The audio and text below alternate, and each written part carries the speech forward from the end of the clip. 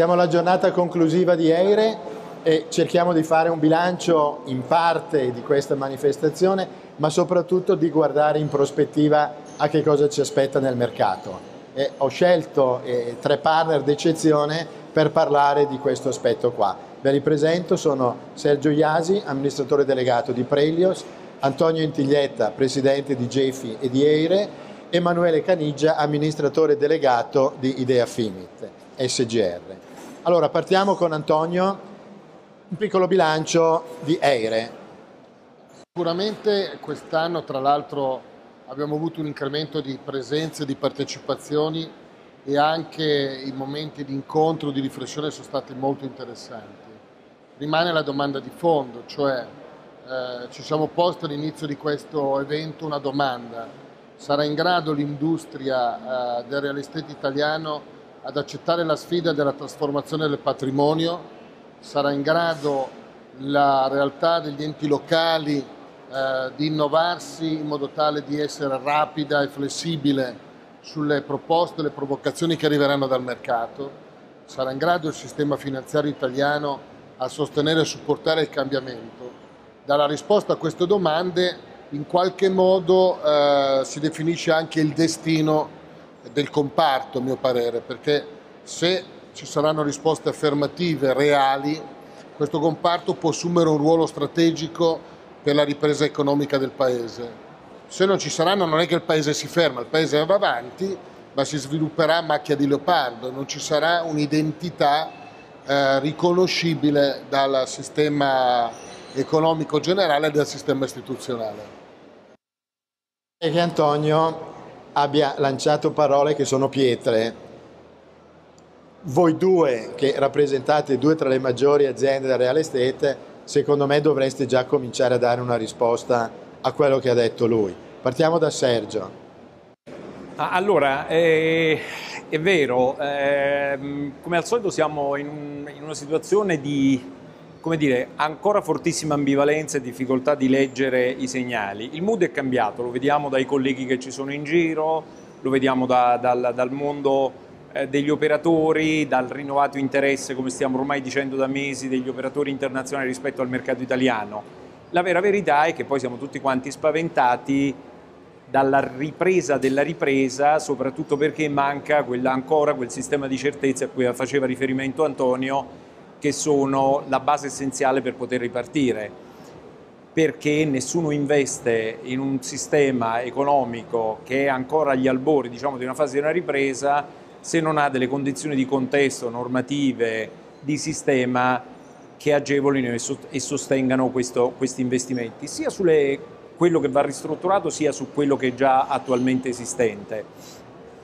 I segnali comunque in generale sono positivi, eh, con i nostri colleghi di Prelios l'altro giorno stavamo facendo un po' di brainstorming eh, su quello che era successo in questi primi sei mesi dell'anno e sostanzialmente il mood è sicuramente molto positivo. Tutto il sistema dei servizi è ripartito, quindi quello è il primo segnale di una ritrovata attenzione verso, la, verso il, il, il, mondo diciamo, del real estate, che poi questo si trasformi in nuovi investimenti, in nuove opportunità di fare, in nuovi contratti, ce ne probabilmente ne passa ancora un pochino, però certamente rispetto a un anno o a due anni fa la situazione è decisamente cambiata. L'unica vera eh, speranza è, leggevo stamattina in aereo venendo qui a Milano eh, un po' di giornali, è che poi effettivamente il contesto normativo trovi una stabilizzazione, trovi una linea di tendenza precisa al nostro sostegno. Emanuele, come rispondi invece tu alla provocazione di Antonio? Intanto sono assolutamente d'accordo con Sergio sulla eh, necessità delle certezze normative perché è un punto fondamentale, ma oltre per gli stranieri a cui tutti siamo attaccati, anche per noi operatori italiani, perché poi alla fine diventa difficile, se non si conoscono le regole del gioco, eh, giocare a, a, un qualunque, a, qualunque cosa. È vero che ci dobbiamo fare, fare anche parte attiva nel cambiamento di queste regole, non possiamo sempre criticare il fatto che non c'è certezza e poi non, eh, come dire, siamo sempre soggetti subendi del, delle regole che esistono, quindi dobbiamo farci parte attiva verso il governo, con le associazioni, direttamente, insomma cercare di trovare un sistema abbastanza coeso che consenta di intervenire sulle regole, cioè spiegare il perché sono sbagliate e non sono sbagliate perché noi vogliamo speculare su qualcosa, ma sono sbagliate perché strutturalmente sono sbagliate, cioè non riescono a fare industria. Questo è il primo aspetto. Il secondo aspetto io devo dire in fiera ho sentito parlare moltissimo di eh, eticità, di trasparenza, di innovazione, ho sentito parlare poco di buonsenso. Alla fine quello che lega il nostro mercato alla realtà è il buonsenso. Noi dobbiamo cercare di fare delle operazioni che abbiano, eh, mi ripeto, un senso di esistere, cioè avere un'utilità sociale, economica e strutturale che le rendano talmente palesemente eh, accettabili dalla comunità, dal territorio, dagli investitori che sono cose da fare e quindi portarsi appresso tutta la comunità finanziaria, politica e eh, economica che ci consente di fare queste operazioni con tranquillità. Antonio, ha detto buon senso, porte aperte. Allora, se vogliamo parlare di buon senso, cosa si può fare? Guarda, io faccio un esempio di cui Emanuele peraltro è testimone. Noi abbiamo portato un esempio in fiera e io ho voluto farlo parlare alla giornata inaugurale. Questo esempio è questa iniziativa, peraltro così antica da essere oggi la più moderna, di, una, di un signore che 40 anni fa, sul mandato del vescovo di Padova, ha ha assistito alla necessità di due vedove di dare senso alla vita delle persone che rimangono sole. Da questa piccola cosa di 40 anni fa è nato, credo, uno dei progetti più innovativi a livello non italiano ma europeo, un villaggio in cui abitano 1800 anziani, dove esiste il museo del giocattolo gestito da loro per tutti i giovani, dove esiste un corso di formazione eh, stradale fatto dagli, dagli, anziani per i giovani, dove accanto c'è un villaggio di giovani coppie e quindi c'è un progetto di inclusione sociale in cui lavorano 1800 persone in una struttura che ha una redditività sull'attività no profit del 3-4% e una valorizzazione dell'attività eh, profit che sostiene no profit a reddito di mercato. Ora, questo progetto che è un esempio eh, nazionale e internazionale di come va concepito l'abitare oggi, no? eh, si vuole replicare in tutta Italia. Benissimo. È un esempio in cui questo paese dimostra che a volte la realtà è più avanti del sistema. Allora quel buon senso di cui parla Emanuele va giocato con la capacità di cogliere gli spunti, le opportunità, le innovazioni, i tentativi e farli diventare metodo, sistema, che deve stare in piedi. Sta in piedi A se intercetta i bisogni e risponde ai bisogni, B se economicamente regge. E qui apro l'altro versante eh, è chiaro che c'è una grande provocazione, ha ragione Sergio, sulla classe politica italiana, no? Perché se non si ha visione diventa difficile muoversi, no? Ma dall'altra è vero quello che dice Emanuele, bisogna avere il coraggio di sfondare e di sfrondare no? le pastoie, le burocrazie, le contraddizioni, anche perché poi ci sono i soldi, sì, ci sono gli investimenti della comunità europea su questi progetti, sì, ci sono possibilità legislative e operative, sì, ma bisogna trovare quella sana sinergia in cui si parte e si fa un salto in avanti. Quando io parlo di imprenditorialità parlo di quello, perché quel signore non è partito garantito, ma oggi è un modello. Allora, abbiamo parlato di buon senso, abbiamo parlato di coraggio. Adesso io faccio il giornalista per cui entro un po' graffiando la piaga, ma gli imprenditori di oggi, di questo settore qui, hanno coraggio? O preferiscono fare quelli che mettono le bollette per incassare. È una provocazione, me ne rendo conto, però se non lo fate voi, non è che lo possono fare i giornalisti o quelli che organizzano fiere. C'è questo coraggio nella classe imprenditoriale italiana? Sergio. Ma eh, se ti devo dare una risposta politica ti dico sì, se ti devo dare una risposta in coscienza ti dico no. C'è no c'è un attenuante che è dovuto al fatto che noi veniamo fuori da cinque anni di crisi devastante, cinque anni di scorie e tossine che tu hai accumulato sono difficili da metabolizzare. Prima di ripartire è come un, un malato che ha avuto una malattia pesante, il momento, il giorno in cui lo dimettono lo mandi in pista a correre i 100 metri con Usain Bolt, pian piano gli fai fare prima 10 metri, poi 20 metri, poi 30 metri, poi probabilmente inizia a correre i 100 metri. L'industria in generale e il settore imprenditoriale in Italia è nella stessa identica situazione. Eh, le idee ci sono, però oggi mm, può sta succedendo quello che succede per esempio nei settori non performing. I debitori se vedono rosa tendono a chiudere più accordi con le banche di tipo stragiudiziali a pagare perché sanno di poter rischiare un po' nel futuro. Se vedono nero preferiscono abbandonare il credito e dire chiuso, eh, adotto una strategia di stop loss e non, vado, e non vado avanti. Oggi l'imprenditoria è in questa situazione. Due, c'è da considerare un'altra cosa, che noi abbiamo avuto un processo di selezione darwiniana mostruoso io ricordo 7-8 anni fa, quando c'erano le famose gare per l'aggiudicazione di portafogli pubblici, c'erano dei periodi delle gare dove c'erano 40-50 offerte che venivano presentate, poi i prezzi erano quelli che erano, oggi se si dovessero ripetere situazioni di questo genere probabilmente se arriviamo a due o tre offerte per lo stesso oggetto stappiamo eh, bottiglie di champagne. I segnali, come dicevo, ci sono. Io vedo, per esempio, so, il settore dell'SGR, adesso sentendo Emanuele prima riflettevo, il settore dell'SGR inizio a vedere un'area più frizzante perché si stanno ricominciando a pensare nuovi prodotti, prodotti probabilmente di nicchia, più redditizi, ma inizi a vedere dire, la, la voglia, la gioia di provare a sperimentare dei prodotti nuovi che non sono i soliti fondi a comparto di natura tradizionale, che ormai sono diventati una commodity per questo mercato. Quindi quando inizi a vedere questi segnali vuol dire che qualcosa sta cambiando, però oggettivamente oggi l'encefalogramma secondo me è non piatto ma insomma buonissime. Allora, buon senso, coraggio, idee. Partiamo dal buon senso. Dal buon senso si riesce a tirar fuori delle idee e mi riferisco a una SGR come Idea Fimi, che è la più grande che c'è in Italia.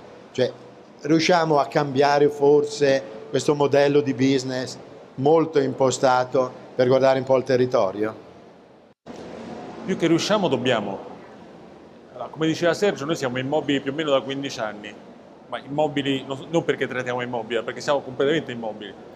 Continuiamo a fare le stesse cose, fondi a porto, fondi a sviluppo, che sono sempre quelli.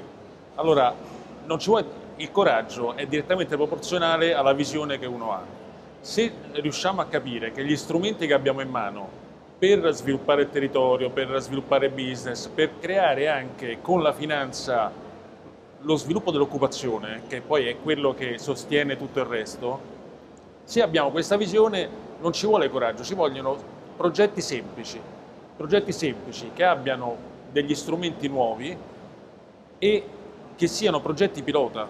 Cioè se noi non sperimentiamo mai, non arriviamo mai. Allora dobbiamo cominciare a fare progetti semplici, siano realizzabili facilmente, che non richiedano il miliardo di euro, ma che siano delle cose che inneschino una catena di nuovi prodotti e di nuove realtà e quindi non è tanto il coraggio, è la voglia di fare, è la voglia di provare, è la voglia di sperimentare, sapendo che nella sperimentazione su 50 cose che si fanno ne riescono due.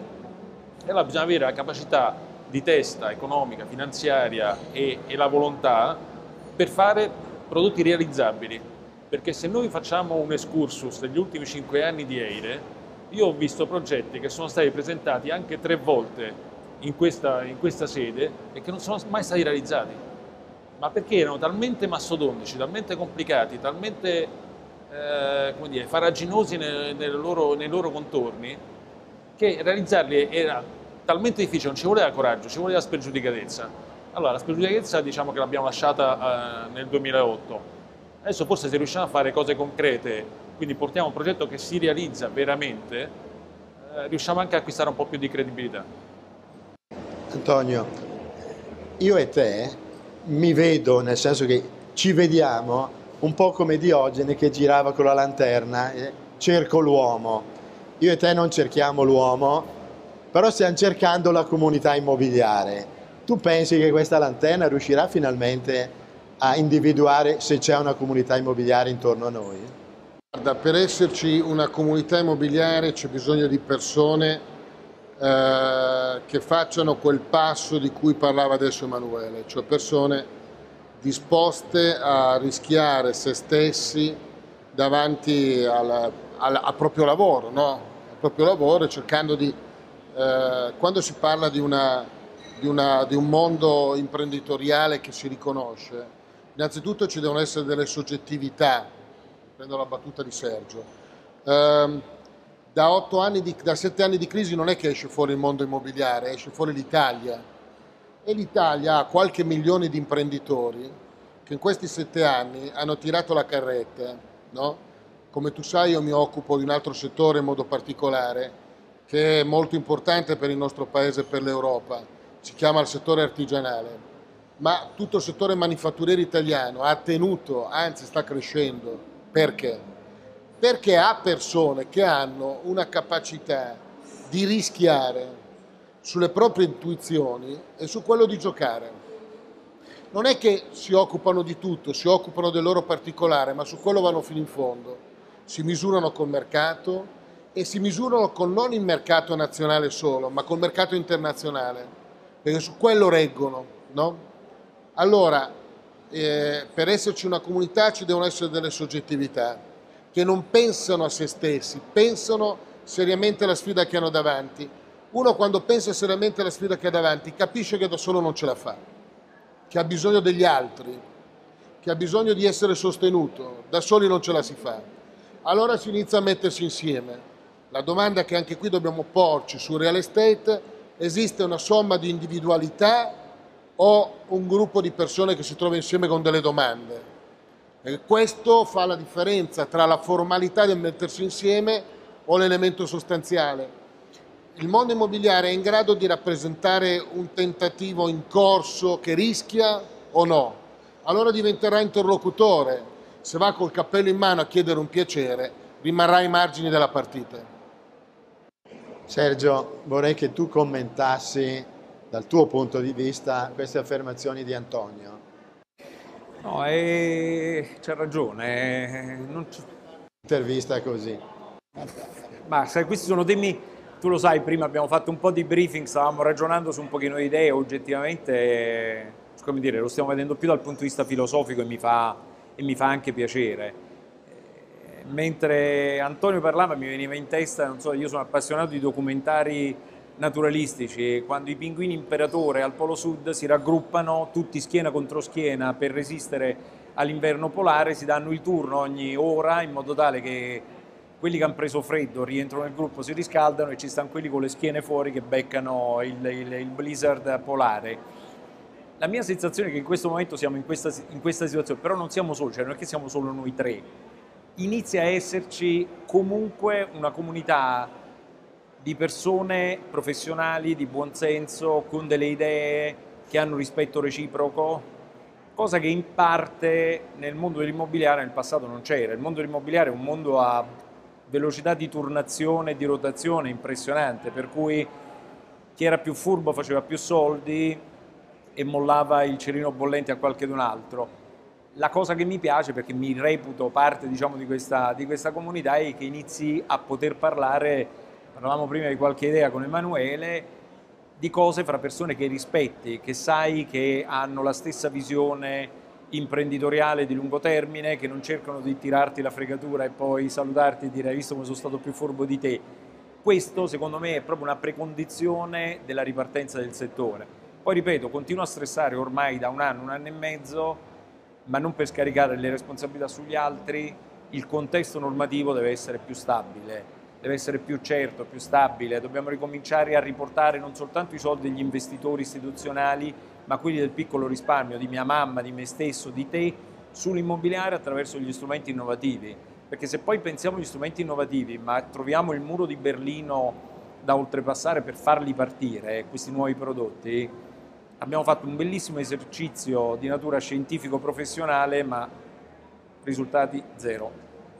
Emanuele, chiudiamo con te perché siamo fuori tempo massimo, però anche a te una domanda, permettimi, un po', un po difficile perché è difficile la risposta. E voi siete dei manager, dovete rispondere a degli azionisti che evidentemente non vi chiedono di fare beneficenza, non vi chiedono di fare grandi cose, ma di portare a casa dei risultati in termini economici.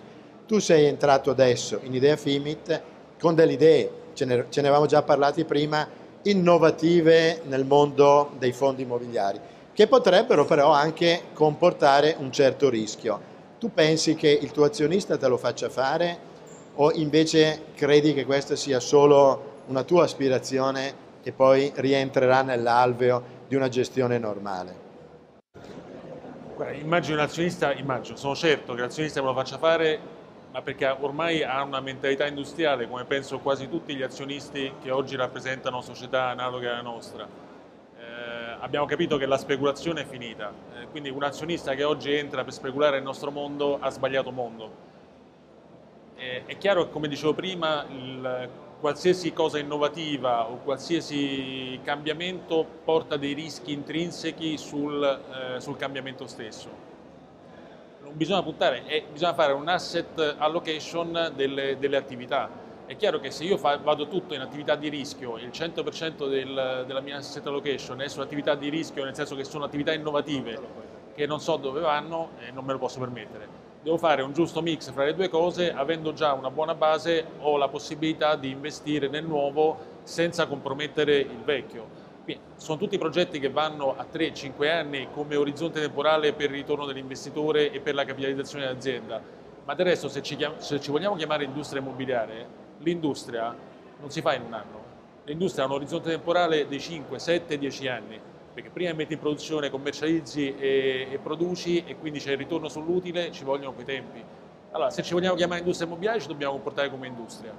Se no, facciamo gli speculatori, continuiamo a fare gli speculatori, però io consiglio a tutti a quel punto di comprare un cover warrant qualsiasi in borsa e sperare che, di guadagnare. Grazie Emanuele. Ecco, si conclude qui il nostro breve incontro di oggi, che però mi pare molto denso di spunti e di provocazioni. Emanuele dice Vogliamo, fare, vogliamo essere industria immobiliare? Ecco, mi pare che sia il messaggio giusto per chiudere questo incontro qua. È una domanda che io rivolgo a voi. Vogliamo essere industria immobiliare? Ne parleremo nei prossimi mesi. Grazie.